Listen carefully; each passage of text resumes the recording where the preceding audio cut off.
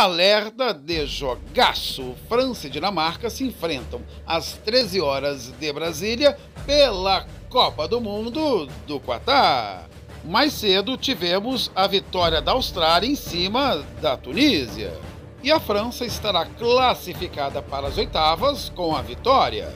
E se a França empatar ou perder, só dependerá de si para se classificar no último jogo. E a Dinamarca ganhando, perdendo empatando também só dependerá de si no último jogo.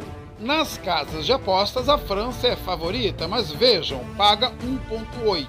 Ou seja, os apostadores sabem que o jogo é duro. A gente sempre fala aqui no canal que a França é o Brasil de antigamente. Pode montar três seleções de altíssimo nível, mas fez um péssimo ciclo para esta Copa. Fracassou na Euro, fracassou na Liga das Nações, as voltas com contusões, Benzema, Kanté, Pogba. Mas, meus amigos, quem tem Griezmann, quem tem Mbappé, quem tem Giroud tem tudo. Na estreia, a Austrália abriu o marcador, mas a grande seleção francesa virou para 4 a 1.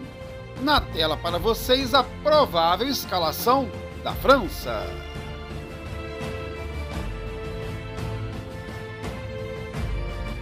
A Dinamarca que encantou o mundo, superando a tragédia de Eriksen na sendo eliminada somente nas semifinais por um pênalti duvidoso, que se classificou com certa facilidade nas eliminatórias, fez um jogo sonolento contra a Tunísia. O empate de 0 a 0 foi justo.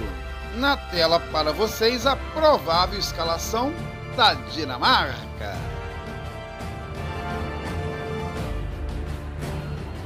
Agora aquela parte final do vídeo que todo mundo quer saber qual o prognóstico do canal. Meus amigos, na estreia a França teve 62% de posse de bola, 22 finalizações, sendo 7 no alvo.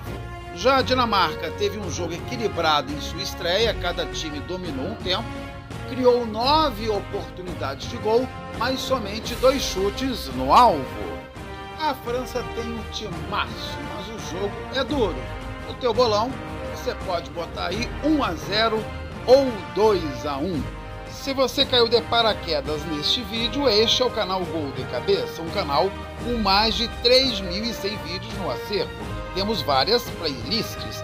Dê uma olhada, veja mais um vídeo, você vai gostar você vai querer ser um inscrito. Gol de Cabeça, um canal de números, de estatísticas e informações feito para quem pensa futebol com inteligência.